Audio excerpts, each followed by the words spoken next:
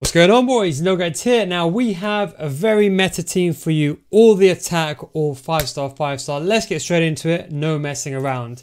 Now the first card we want to go over is Griezmann. Now I actually love this Griezmann card.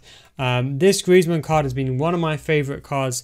I bought him for 600k, he's gone up now to about 700k, but definitely it's worth the money. 5 foot 9, five star, five star. This is I wanted the entire attack of this team to all have five star, five star. So Griezmann, one of my favorite cards. Um, you can see the stats speak for itself, but to be honest, you don't even need to even look twice. Put a hunter on him. He's already got the pace. He's already got the passing. He's already got the dribbling. He's got everything, and he's got the physicality. A lot of players they lack a few things here and there, but this Griezmann has everything. It would be better if he's a bit faster, but with a Hunter on him, it resolves that issue. He's got near about 99 finishing as well with a Hunter. Got the shot power, the composure, and of course he's got the 99 stamina and heading accuracy and 97 agility and 90 balance. Definitely one of the best cards in the game without a shadow of a doubt, especially for that price range as well. And next in we're going to go with Ribery. Now this is going to be a bit complicated how we get there, but everyone gets full chemistry. I'll show you that in a second. Ribery, another one of my favorite cards. Honestly, this card is fantastic. Very, very similar. Ribery did have an SBC as well, don't forget. But this one is the tradable option. This is why I always like those tradable cards. So yes, he doesn't got he hasn't got the better passing than that SBC card, but he's still got the near about five foot seven. Five star, five star, really, really good with that agility and balance. He's got the pace naturally. Finishing is good, tap positioning. He hasn't got the agility. That is the only downside with this Ribery card. But because he's five foot seven, you don't really need that agility because he already has that maneuverability because he's much more shorter and he has a lower center of balance. You know what? There's not that many other players you can get really for this price range.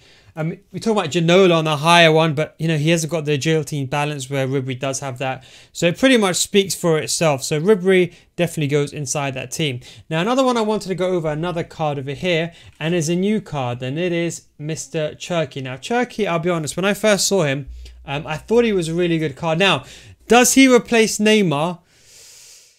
It's it's a tough one. I don't think he replaces Neymar. I mean, like even you know, just as a just a general example, I have the gold Neymar, right? Just as a general example. Does he replace gold Neymar, the GOAT Neymar? It's tough to say. Now, stats wise, you can argue Cherki does have some benefits. He's got a bit better shooting and a bit better passing, um, but Neymar does have that unique dribbling animations, and that is one of the few reasons why maybe I would lean towards someone like Neymar. But the rest of his stats are better. Um, so he's got the better agility balance, five star, five star, five foot nine and he's got the stamina as well. So I see this card as more of a winger. Now, he does lack that finishing. That is the only downside. You know, we look at someone, for example, like Neymar as an example, one of my favourites in the team. Um, yes, he's got 83, but Neymar is just one of those unique players. I think that 93 composure makes his finishing much better than, for example, a card like this. But nonetheless, this card is still very, very good. Five star, five star speaks for itself. It goes in just like that. And then to finish it up, um, I didn't really know exactly who to go for this one. I was kind of debating left and right. And uh, what I decided to go with is Alejandro Gomez. Now, this does push the budget for this team up exponentially. But you can see Alejandro Gomez, 5-star, 5-star. With a Hunter, again, still one of probably one of the best attackers in the game. And all these players got a good agility and balance. Part Ribery, but Ribery can still move. And I like these cards because they maneuver. It's probably going to be one of my favorite team builders that you're going to see me make. As you can see, we've got the stats there. Everything speaks for itself. 99 agility and balance. 1 million co coins, but it's worth it. Now, how does the chem work out? This is the issue. But don't worry, we got some players in. So let's start with the back line. We've got Montiel. We put him in. He's a good card. Got the pace, got the defending as well. Um, high, medium. And you can literally either put an anchor on him or you can put a shadow. I would recommend a shadow still. Um, but for those that are really concerned about the defender, you can put an anchor on him and it pretty much sorts that issue out there. For the opposite side, we've gone with Fran Garcia, a new a new addition. I wanted to put some new cards in as well, just so you guys can try things out here. High, medium, good pace as well. Exact same thing. I'll put a you can put a shadow, or if you're not sure, you can definitely put an anchor on him as well. And then we go to the to the midfield, which you know midfield we'll come back to because the midfield is there for a specific reason. Goalkeeper for chemistry, we've gone with Maignan. He's a pretty decent card. Maignan is actually a pretty good card. I like him.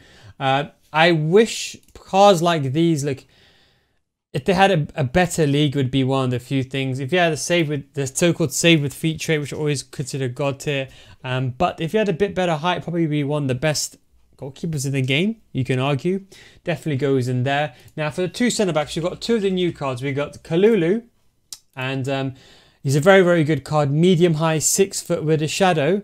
90 defense awareness, top tier card, speaks for itself, has got the short passing as well, and he's got the good agility band, which is still very important for centre back, arguably one of the best centre backs, or at least at top 20 in the game, in my in my opinion, in my eyes. And then next, then we do have now, I think it's Badiashile, Badia Badia Badia Shal. Apologies, I mispronounced this individual's name. Um, but this is additionally another new card as well. Uh, people have been hyping him up. He does lack the agility and balance, but I think next to someone like Kalulu, I think he'd probably get away with it. You can always change this card out. Um, you can always go with a Cordoba even. Um, but we've gone with him. I think, you know what, give him a try. 96 sprint speed. Yes, he could be better. I mean, it's another card you can use there instead, but I'll come back to that in a second. Then we go over to the midfield. Now, to get chemistry here, we have gone with Marchisio. This is solely to get chemistry on Ribery, um, but you don't need Marchisio in your team. I've gone with Marchisio because Ribery still gets the full chemistry from the French link. So we got Sissoko next to him. So I'm just going to do it like this first. Sissoko, you can see we get almost maxed out chemistry. Then what we're going to go here is we're going to go for someone like Vieira. And then we're going to go with Liga Santander. So you can see here, we get the chemistry for Alejandro Gomez. And Fran Garcia gets two. If you want, you can really put a Spanish guy there. And then midfield, look, so now you kind of have free warrant to do whatever you want. You can technically put anyone here. Look, there isn't, look, if I had the money or if you had the money, this is why I wanted to say 3 million coins, but you can adjust it. So if you have the money, look, go ahead and put someone else here. So there's actually a good sentiment. You got the Kante, you got the Makelele, the new car, which I think is a really, really good. I do think this is probably a tad bit too defensive.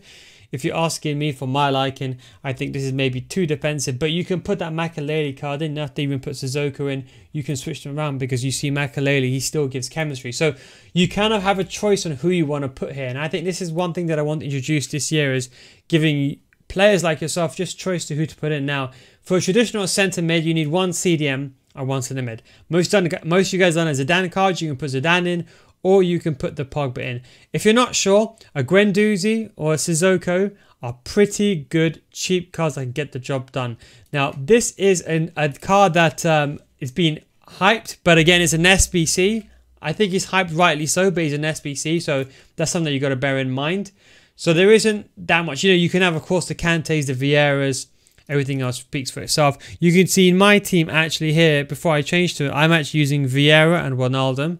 That is the way that I'm doing it. So if you haven't got the coins and you do this on the cheap, you can just put a Guendouzi in and you can put a Sissoko. Just like that, okay? If you've got the money, you can put someone like a Makelele in or Vieira. I'm sure most of you, or you should have at least done this Vieira card. If you haven't, making a big mistake. Now for the person next to your centre mid, look, you can go with anyone realistically. You can go with anyone attacking. You can go with like a Modric if you want to. Modric, of course, it pushes the budget up but that is a very, very good card. If you're not then at the budget, you can literally just go with a Guendouzi, someone cheap like that. Someone that can shoot, get the job done. Um, but you can, in theory, go for anyone in La Liga as well. Um, in La Liga, you do have the likes of De Jong. There's actually a, a couple of good centre mids. You have De Jong and a few others like that as well. It depends on who you really want to go with. You do have Pedro, although he can't shoot. Otherwise, you just go with this, this Modric card over there. So you got a pretty good team. So how does it look like in chemistry? So for 4-2-3-1, you literally have complete full control. Now, what I would probably do is I would probably do something like this. That's the way that I'll do. I'd always put Griezmann in striker just because overall he has everything and he's got the physicality, which these three players don't have to hold off the strikers. That's how I'll do it in a 4-2-3-1. Gomez, because you've got the top tier agility and balance with that height. For the 4-1-2-1-2, I would say you can drop someone to midfield. It's up to who you want to drop. I dropped here um, Cherki. Um, same thing like that. If you are playing a 4-4-2 or 4-2-4, anything of that nature, again, you have complete free room. But the way that I would do is actually just like this as well. I would say Ribery and Cherki kind of, I prefer them on the wings. And if you're going with a 3-5-2, which I still think is one probably one of the most underrated formations inside the game. I'd probably go something like this as well, and then put Cherki on the wing. there, and I'll put Montiel there, and then I'll put um, Lulu maybe on the right hand side because he's got a bit better pace. Um, yes, the agility balance but then. And if you're going for the classic 4-3-2-1, which is one of the most meta formations here, you can have Modric the person staying back, and then you can have it like like this inside the game, and then you can show where you want to put it. It's up to you. Modric stays back, this player goes forward, or you can put it this way and that player goes forward. And then I'd put Cherki, the attack inside on that, just like that. But that is, of course, a 3 million coin squad builder. Probably one of the best 3 million coin squad builders I think I've ever built. Um, just because you've got the pure agility and balance. And as I said, you haven't got the money, you can always put Makelele or put someone else in, a Guendouzi or Sissoko for a cheap. But anyway, guys, that is the video complete. Don't forget, if you do want to get better at FIFA, you can come join FIFA School Series, patreon.com forward slash NealGuides, links on left hand side. And it's probably one, as I said, probably one of the best teams that I built. Everyone's got a top tier agility and balance. And for 3 million coins, it's an absolute steal. Thanks for watching, and I'll catch you next time.